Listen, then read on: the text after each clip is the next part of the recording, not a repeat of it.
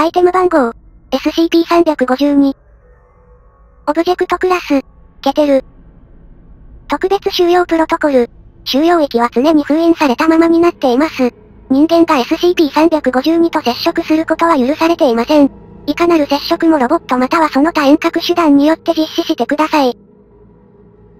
人間の接触が必要になった場合は、完全危険物収容プロトコルに従わなければなりません。これに加えて、セキュリティラインに全職員を配置しなければなりません。異常な行動を示す職員が確認された場合、直ちにセキュリティラインを通じて収容域から外してください。SCP-352 または彼女の、紙、の影響で幻覚を報告した職員は直ちに隔離所に入ることになっています。収容域内、または周辺で勤務している職員は不定期に精神、身体検査を受けなければなりません。汚染が確認されれば、直ちに隔離所に入ることになっています。SCP-352 から襲撃を受けても噛まれなかった職員は回復だけはできるかもしれません。SCP-352 は週に一度だけ給仕されることになっています。SCP-352 が職員を襲撃した場合、給仕は1ヶ月中止することになります。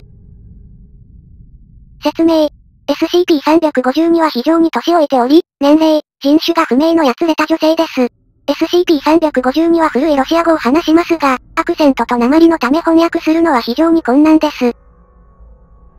SCP-352 はコミュニケーションを取ることに極めて抵抗があり、これまで会話してもほとんどは脅迫や復讐についてです。SCP-352 は名前どころか一切身元を明かさず、攻撃的な性質のため、彼女の生い立ちに関する情報を得ることは不可能です。SCP-352 は彼女の見た目の年齢と体格が同じ人間より非常に高い力と速度があり、軽度の肉体負担で 200kg を超える荷を動かし、70km 毎時を超える速度で動けることが確認されました。SCP-352 は弾頭や内臓摘出などの人間では致命的な傷から回復することができます。ひどさに応じて再生は数週間から数日かかります。SCP-352 の体内は高齢女性と同様の筋肉、骨、器官で通常の人間のように見えます。組織サンプル実験の結論は出ていません。SCP-352 は身体中のどこからでも非常に細い紙のような紐を自在に出すことができます。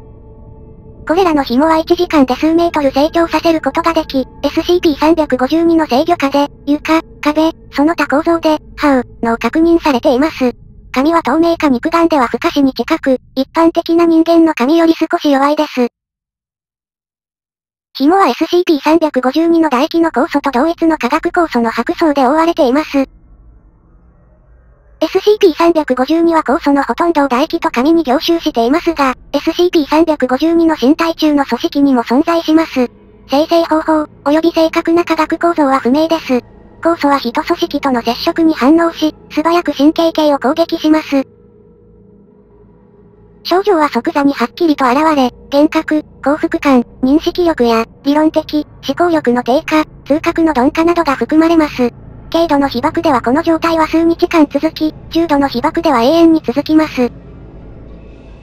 SCP-352 に噛まれれば99.9%で重度被爆になります。SCP-352 は肉食性で、特に人間の肉を好みます。SCP-352 は紙で、網、を作り、獲物が酵素にさらされおとなしくなるのを待ちます。SCP-352 はしばしば獲物が遠くに行かないように手足を取り除き、食べて、数日かけて獲物を完食します。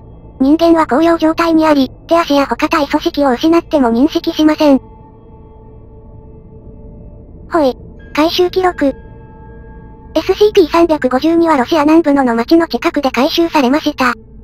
魔女が発見され、森の外で捕獲を始めたという報告があるまで、魔法の森、といくつもの死を招いた魔女についての報告は初めは無視されていました。財団エージェントが応じた時には、町は錆びれた状態で発見されました。いくつもの死体が様々に解体された状態で発見され、結婚はそれ以上の死体が、魔法の森、へと引きずり込まれたのを示していました。回収チームが派遣され、SCP-352 は捕獲されましたが、SCP-352 の攻撃と酵素の被爆で重大な被害が出ました。